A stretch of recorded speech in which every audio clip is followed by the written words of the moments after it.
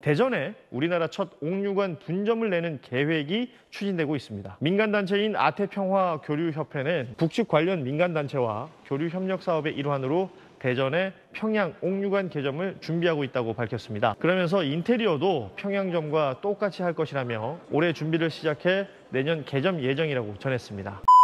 북한의 대표 식당이 옥류관이 대전에 남한 1호 분점을 낸다고 합니다. 참 헛웃음이 납니다. 아태평화교류협회는 대전시 의회 기자실에서 간담회를 열고 대전 유성 계룡 스파텔 인근에 북한의 대표 식당인 옥류관 분점을 낼 계획이다. 문을 여는 시점은 내년 중으로 계획하고 있다고 밝혔습니다. 아태협 안부수 회장은 당초 이재명 경기지사와 경기도 호수공원에 점포를 내자고 합의했지만 사정상 여의치 않아서 대전에 점포를 내는 쪽으로 가닥을 잡았다며 2018년 북측 조선아시아 태평양 평화위원회와 남북교류협력 협력을 맺어 합의하고 동의서를 작성한 사안으로 건립에는 문제가 없다고 말했습니다. 아닙니다. 문제가 많습니다. 대한민국의 북한 식당을 차려 북한에 충성 자금을 보내려고 발악을 합니다. 이어 그는 옥류관은 북한을 대표하는 음식점으로서 현지 외교관과 주민, 여행객 사이에도 입으로 전해질 정도로 맛과 시설을 갖췄다며 앞으로 냉면을 비롯한 전통 한식과 대동강 맥주, 북한식 커피, 생필품 등을 전시 판매하고 북한 그림전 등도 열 계획이다라고 말했습니다. 북한인지 대한민국인지 구분이 안 갑니다. 북한 식당을 식당을 한국이 왜 홍보를 해줘야 하는지 도무지 이해가 안 갑니다. 또 이렇게 말합니다. 옥류관 대전 분점에는 탈북 세터민을 고용할 계획이다. 대전점이 문을 열면 대전 시민에게 평양 옥류관을 찾을 기회를 제공하고 민간 차원의 남북 교류 활동에 물꼬를 틀 것이다 라고 덧붙였습니다. 자유를 위해 탈북하신 분들은 옥류관에 가서 일할 생각이 전혀 없을 겁니다. 북한 독재 정권이 싫어서 올라했는데 어느 탈북자가 거기서 일하겠습니까? 일하는 사람은 탈북을 위장한 간첩이겠지요. 이재명은 북한에 돈 못 줘서 안달이 난 사람 같습니다. 북한 식당은 이미 북한 정권의 돈 세탁 창구라는 사실을 아는 사람은 다 압니다. 어느 한 기사에서는 2016년 3월 초 유엔 안전보장이사회 대북 제재 결의와 정부의 북한 식당 이용 자제 공고 이후 세계 12개국 130여 개의 북한 식당은 잇따라 문을 닫았습니다. 북한 식당은 전 세계 약 25개 국가에 운영되고 있으며 대체로 중국과 동남아시아에 집중돼 있지만 러시아와 아랍에미리트, 두바이에도 존재한다고 전했습니다. 북한 식당이 폐점하면서 2016년 4월 7일에는 집단으로 북한 식당 종업원들이 탈북을 했습니다. 익명을 원한 정보당국 출신 모신 북한 전문가는 8일 중국 지방 도시에서 일하는 13명의 북한 식당 종업원들이 36년 만에 치르는 5월 노동당 대회를 앞두고 충성자금 상납 압박에 시달려오다 육로를 통해 동남아 제3국을 거쳐 탈북한 것으로 안다고 말했습니다. 유엔 대북 제재로 먹고 살 길이 없는 북한 식당 종업원은 귀순을 하든지 아니면 집단 탈출을 하든지 둘 중 하나를 해야 하는 상황에 놓여졌습니다. 왜냐? 돌아가면 가혹한 처벌을 받을 것이란 공포 때문입니다. 북한 해외 식당 종업원들의 집단 귀순을 계기로 중국의 인터넷 매체가 그 실태를 집중 조명했습니다. 했습니다. 중국 군사망 블로그에서는 당신이 몰랐던 북한 해외식당, 김치, 가무, 돈 세탁이란 제목의 게시글 전문을 소개했습니다. 대부분은 대표적 식당이 옥류관과 마찬가지로 분점 형태로 운영되며 북한 냉면과 김치, 개고기, 주류 등을 판매한다고 합니다. 전통적인 민족음악 공연 외에도 탭댄스와 발레, R&B 공연 등 온갖 공연을 다 볼 수 있는 것도 특징입니다. 젊고 미녀 종업원들은 몇 가지 외국어도 구사하며 음악적으로 뛰어난 데다 평양의 엘리트 가정 출신이 많다는 점도 특징으로 꼽혔습니다. 또한 북한의 해외 식당은 노동당 39호실이 벌이는 사업 가운데 하나라고 합니다. 김정은 일가의 비자금 창구로 알려진 노동당 39호실은 마약 밀수, 위폐 제조 등도 함께하고 있어 해외 식당도 계획적으로 운영되는 자금 조달을 위한 필수적인 톱니바퀴 중 하나라는 겁니다. 이 밖에 북한 식당들이 충성 자금 명목으로 고국에 연간 최대 3억 원 이상을 보내야 한다는 탈북자들의 증언도 있습니다. 북한의 정권 유지를 위한 돈 세탁 창구로 이용되는 북한 식당 옥류관을 대전에 설립하는 것은 북한 정권의 충성 자금을 상납하는 것과 다를 게 없습니다. 이건 분명히 유엔 유엔 대북제재 위반입니다. 지금 대한민국에서 간첩 행위로 구속된 충북동지회 간첩단 사건을 보면 매우 심각합니다. 북한으로부터 활동비를 2만 달러 받고 충성 서약까지 썼으며 과거 문재인 대선 특보 활동을 하고 더불당 의원들까지 접촉했습니다. 2만 달러 간첩 활동비 북한 식당에서 나온 돈입니다. 간첩 자금을 지원한 북한 식당 옥류관을 대한민국에 호용해서는 절대로 안됩니다. 이상입니다.